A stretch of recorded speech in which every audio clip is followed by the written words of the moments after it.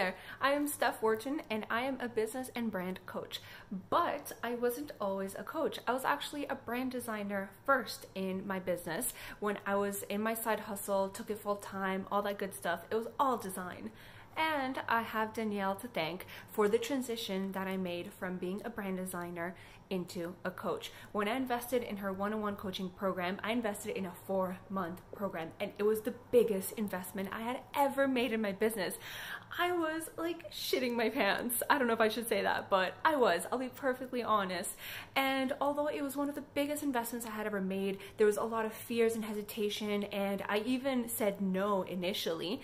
But thankfully, she coached me through those fears, and I was able to put a deposit down, make that investment and what's mind blowing is as soon as I made that investment, I actually started landing clients left, right, and center because I was that much more involved. I had skin in the game and I was being so purposeful with every action that I took, even before the program had even started. So it was just a life changing.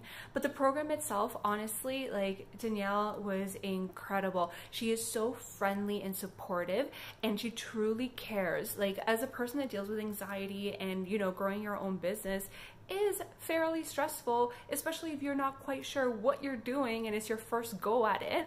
She was the kind of person that was always there on Voxer messaging, ready to answer any questions, ready to kind of give her two cents in, ask key questions that would get me thinking and put things into perspective. And it really provided the comfort that I needed in order to know that I was making the right decisions, but also giving me the accountability that I needed to make sure that I put all those plans into action and made it happen.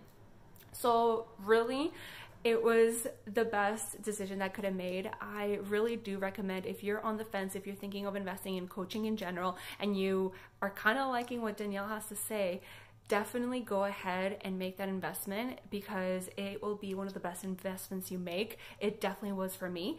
By the end, we were done the coaching program. I actually went ahead, launched my business. It was super, and by business, I mean the coaching side of things, and it was super successful. I ended up having a $12,000 launch it was just mind blowing, better than anything I had ever done before.